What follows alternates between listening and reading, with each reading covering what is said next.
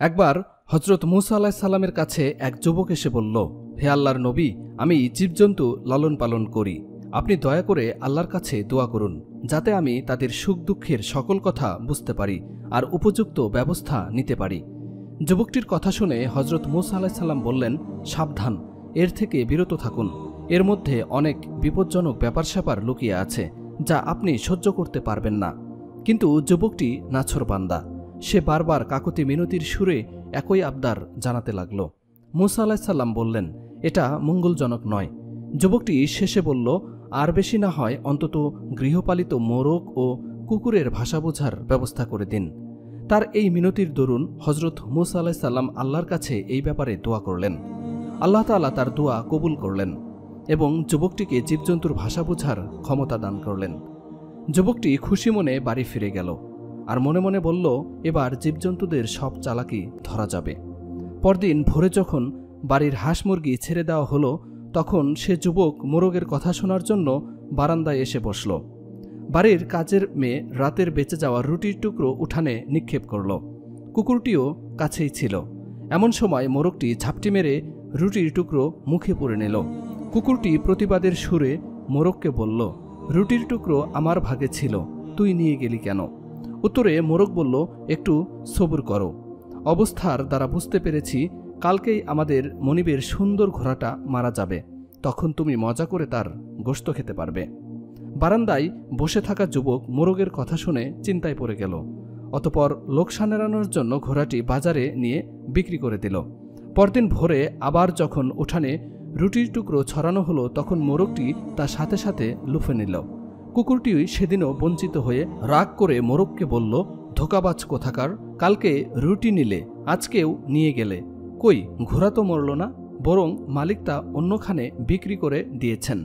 জবাবে মোরগ বলল, ঘোড়াটি সত্যিই মরেছে, তবে অন্যখানে। অধৈর্য হয়েও না, অবস্থার দ্বারা জেনেছি কালকে মনিবের উটটিও মারা যাবে। তখন তুমি মজা করে ইচ্ছামতো গোস্ত খেতে পারবে। উটের মৃত্যুর কথা শুনে মনিব পেরেশান হয়ে গেল।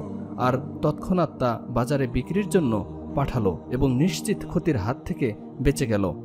পরদিন ভোরে আবার রুটি ফেলা হলো। সাথে সাথে মোরগ রুটির টুকরো লুফে নিল। কুকুরটি আজও ব্যর্থ হলো। তখন সে তাচ্ছিল্যের সুরে মোরগকে বলল, তুমি বড়ই প্রতারণা করছ দেখি। প্রতিদিনই আমাকে ধোকা দিচ্ছ। মোরগ বলল, ধৈর্যহারা হয়ে না বন্ধু। কাল দেখবে মনিবের গোলামটা মারা যাবে। তখন শিরুনি ইত্যাদি করবে। তখন গোস্ত পোলাও ইত্যাদি অনেক কিছুই তুমি খেতে পারবে। মনিব মোরগের কথা শুনে বেচাইন হয়ে গেল। সে তরিত গোলামটাকে অন্য একজনের কাছে বিক্রি করে দিল এবং বিরাট ক্ষয়ক্ষতির হাত থেকে রক্ষা পেল আর মনে মনে ভাবল, এ জীবজন্তুদের ভাষা বুঝে ভালোই উপকার হলো। এতে অনেক ক্ষতি থেকে বাঁচা গেল। কিন্তু এতে যে জেনে বুঝে অন্যকে ক্ষতির সম্মুখীন করল, সেই চিন্তা সে করল না। চতুর্থ দিন ভোরের কথা। রুটির টুকরো আজও একা লুফে নিল মোরগটি। অসহায় কুকুর রাগের চোটে মোরগকে গালাগাল করতে লাগল। মোরগ তাকে সান্ত্বনার বাণী শুনিয়ে বলল, হে বন্ধু, আর একটু ধৈর্য ধরো। কাল দেখবে মনিব নিজেই মারা যাবেন। কাল তিনি মারা গেলে তার ওয়ারিসরা গোস্ত, পোলাও, শিরোনি ইত্যাদি করবে। তখন তুমি পেট পুরে খেয়ে নিও। আজ মোরগের কথা শুনে যুবকটি যার পরনায় বিচলিত হয়ে গেল। কাল যে সে মারা যাবে, এই পেরেশানিতে অস্থির হয়ে গেল। আসলে আল্লাপাকের কুদরতের মাঝে অনেক গোপন কথা লুকায়িত থাকে, যা কেউই জানে না। কিন্তু মানুষ যখন সীমালঙ্ঘন করে, তখনই যত সব বিপত্তি ঘটে, মাল সম্পদের সামান্য ক্ষয়ক্ষতিতে মনিবের যান বেঁচে যেত এবং মুসিবত মালের ওপর দিয়ে চলে যেত। কিন্তু মনিব তা মানেনি, তাই বিপদ তার নিজের উপরই চলে এসছে। নিরুপায় যুবক দৌড়ে মৌসা আলাহ সাল্লামের দরবারে হাজির হলো। তাকে সকল ঘটনা খুলে বলল অতপর মিনতি করে বলল, হে আল্লাহর নবী, আমাকে রক্ষা করুন। মুসা আলাহ সাল্লাম বললেন, আমি তো আগেই বলেছি, সেই বিষয়টি আপনার জন্য মঙ্গলজনক হবে না।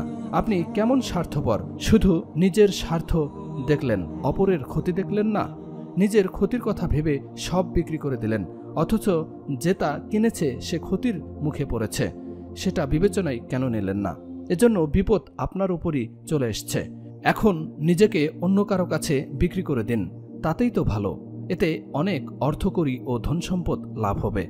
যুবকটি কৃতকর্মের জন্য ক্ষমা চাইল এবং প্রাণ রক্ষার জন্য হজরত মুসা আল্লাহ সাল্লামকে অনুনয় বিনয় করতে লাগল। মুসা আল্লাহ সাল্লাম বললেন, দেখুন, কামান থেকে গুলি বেরিয়ে যাওয়ার পর তা কি আবার ওই কামানে ঢুকে? কখনো না। আপনার মৃত্যুও অবধারিত হয়ে গেছে। এর থেকে আপনার আর রেহাই নেই। তবে আমি আপনার জন্য ইমানের সাথে মৃত্যুর দোয়া করছি। হজরত মৌসা আলাহ সাল্লামের কথা শেষ না হতেই যুবকটির শারীরিক পরিবর্তন শুরু হলো। একবার বমিও হলো, তার শরীর নিস্তেজ হয়ে আসছিল। সাকরাতের এই সময়টিতে চারজন লোক তাকে ধরে বাড়ির দিকে নিয়ে গেল, কিন্তু বাড়ি পৌঁছানো গেল না। মৃদু এক ঝাঁকুনি দিয়ে তার প্রাণ উড়ে গেল চিরদিনের জন্য। ধনসম্পদ সব পেছনে ফেলে যুবকটি পরকালের পথে রওনা দিল।